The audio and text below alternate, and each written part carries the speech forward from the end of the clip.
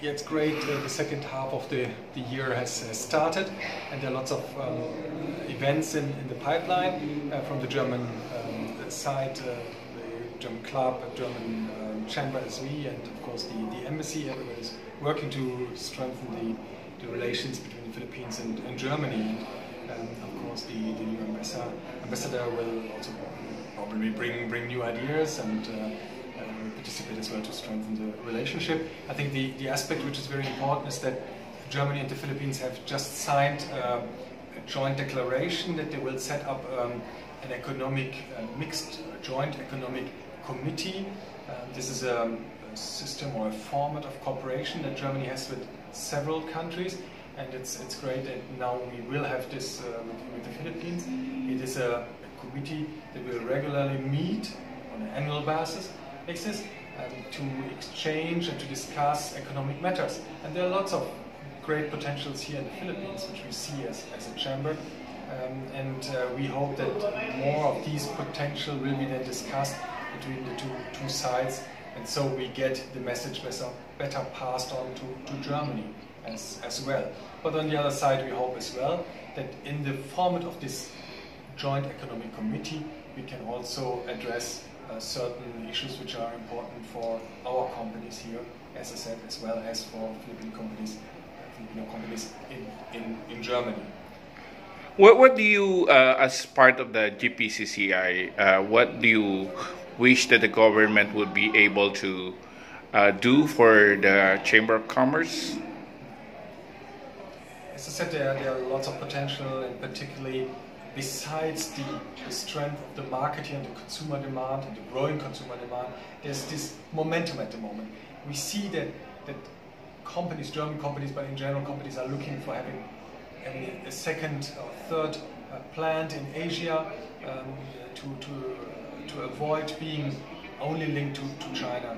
And so companies look to consumer demand and the growing consumer demand. There's this momentum at the moment.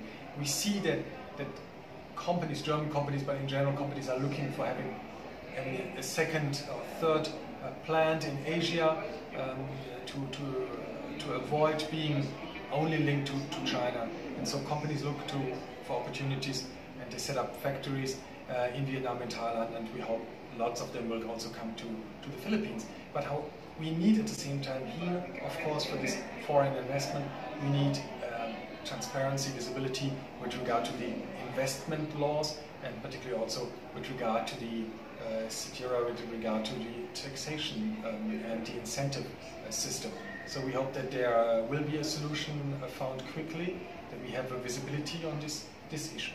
And I think one aspect which is very important there is that I think with the PEZA zone we had a system that worked quite well, which actually worked very well. We had very positive feedback about this. Companies were satisfied with the system. So we, we think if there's totally a disruptive movement in the tax system here, perhaps we leave the companies in the PEZA zone out, leave them with the PEZA regime, with the uh, system of PEZA, and apply the tax system first to other companies, see if it works, readjust it if it's necessary, and then you come and, and, and get, use this experienced system, improved system, then uh, as well for foreign companies. At the moment, I think it's very important to have this, this security, legal security for the companies which are here, which have good experience with PEZA, so that they can advertise as well, say, come on guys, we have been here in the PEZA zone, great experience, come on, come on over here, uh, you, can, you can do the same here.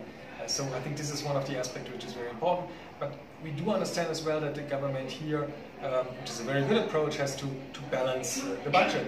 And um, when they lower the, the corporate income tax, of course, they have to find other, other sources.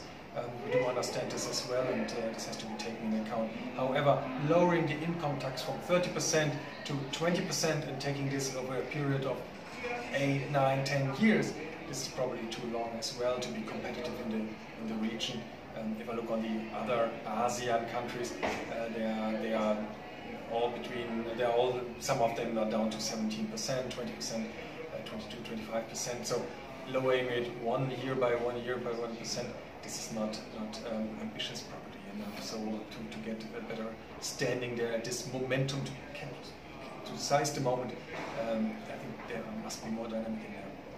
What, what do you expect with the new ambassador right now? How do you plan to uh, embark on the programs that you want to do for the Philippines, uh, Dr. Martin?